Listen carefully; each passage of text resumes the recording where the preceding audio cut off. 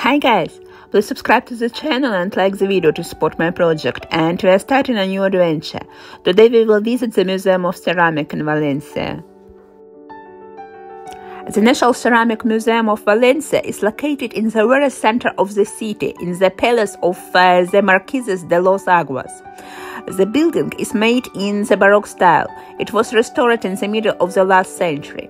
And the Ceramic Museum is considered a real ceramic paradise in Spain. The museum collection was based uh, on uh, the private collection of González Martí, which was uh, replenished and expanded over time. The palace itself was uh, built in the 15th century and restored in uh, 1740. The main door of the palace is topped uh, with the statue of the Virgin Mary, which uh, depicts two streams of water, symbolizing the rivers uh, Júcar and Turia. The allegoric image of uh, two rivers echoes the surname of the owners of the palace, Marqueses dos Aguas. The surname is translated as two rivers.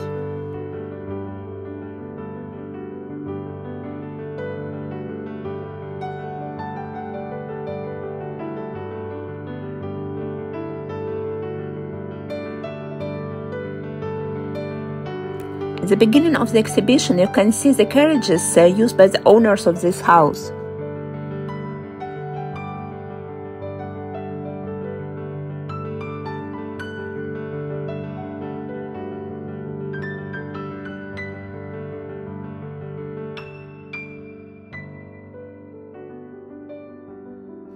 The museum exhibition consists of works of uh, traditional pottery from Spain. You can also see here Greek, Roman, and Arabic products, Chinese and Japanese uh, porcelain, many of which uh, were part of uh, the personal collection of Manuel González Martí.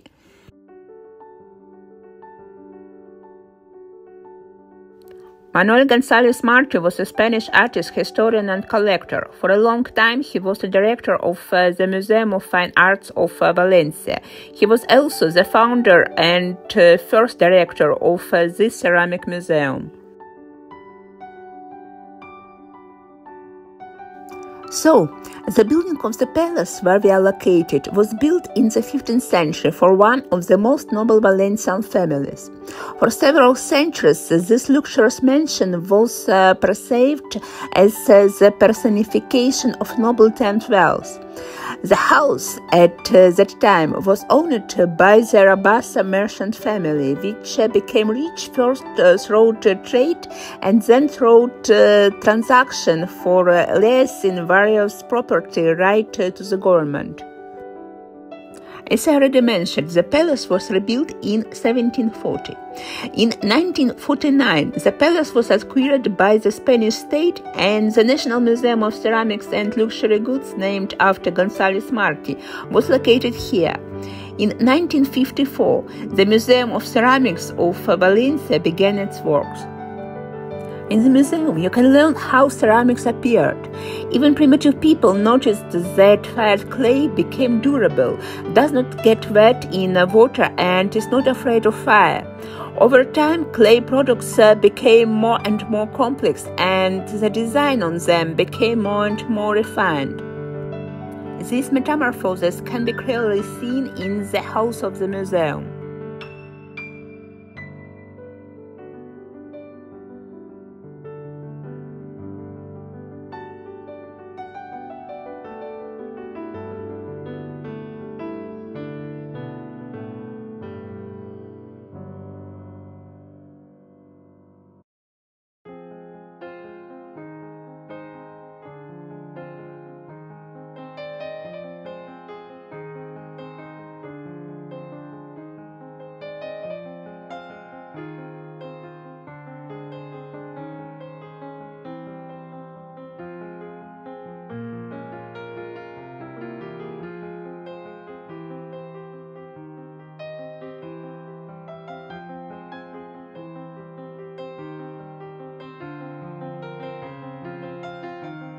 This museum is uh, considered as uh, one of the most important attractions in Valencia.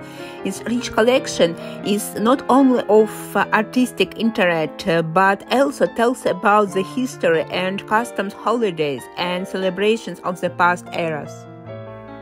Now the museum exhibits more than 5,000 examples of traditional pottery art from Valencia. You can also see uh, tiles from uh, Teruel and uh, tiles uh, from Toledo and Sevilla. In addition uh, to local ceramics, uh, there are Greek, Roman, and Arabic vases, porcelain from China and Japan, as well as modern objects and paintings, including works by Picasso.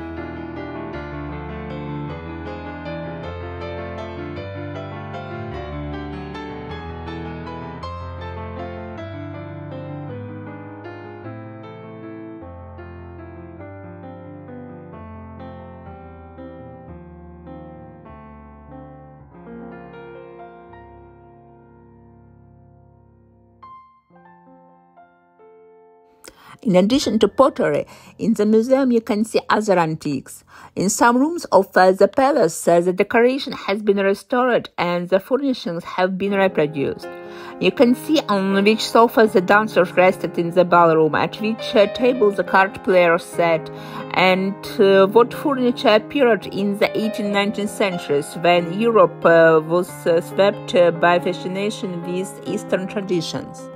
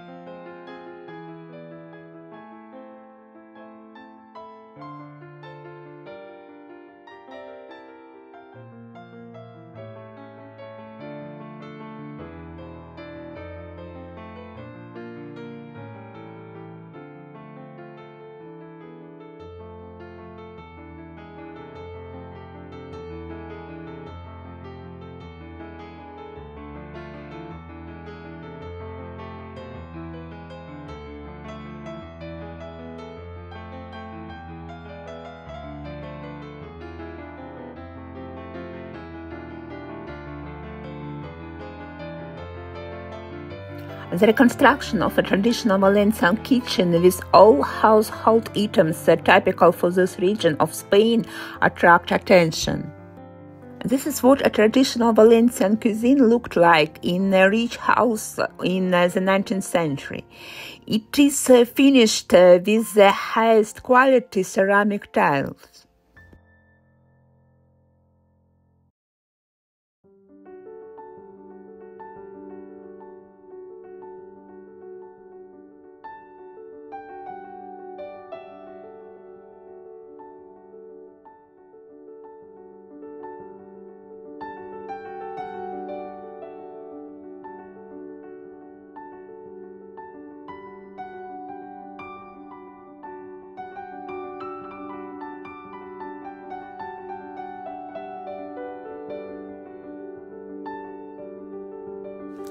The Red Room. Its architectural style dates from uh, a 19th century renovation. The chairs are originals and made of lacquered and gilded wood. They bear the Perellós coat of arms and are the Valencian version of Queen Anne style furniture.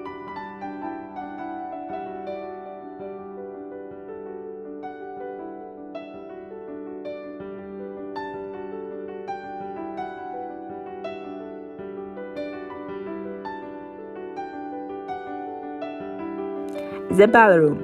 This is the largest room in the palace. It is richly decorated and was used for entertaining guests at uh, parties held by the Marquis and Marchioness. One of its uh, distinctive features is uh, the music gallery, concealed uh, by a screen, enabling uh, the musicians uh, to play without seeing the people in the ballroom.